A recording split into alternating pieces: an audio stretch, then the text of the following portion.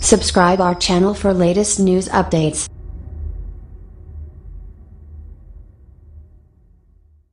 Amazing.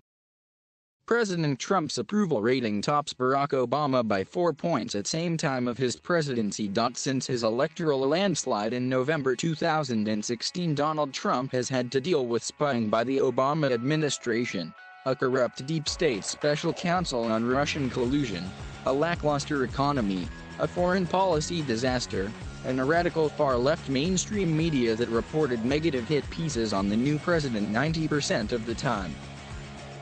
Despite all of this bad news President Trump holds a 48% approval rating today in the Rasmussen Daily Tracking. The Rasmussen Reports daily presidential tracking poll for Wednesday shows that 48% of likely U.S. voters approve of President Trump's job performance.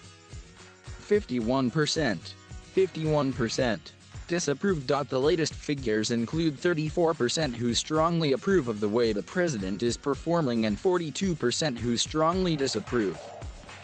This gives him a presidential approval index rating of minus 8. President Trump has a stronger approval rating today than media darling Barack Obama did back in 2010 on the same day. Back on February 7, 2010 Barack Obama had an approval rating of 44% while 56% of likely voters disapproved of the far-left president. Trump had a tremendous first year despite an unbelievable barrage of attacks against him.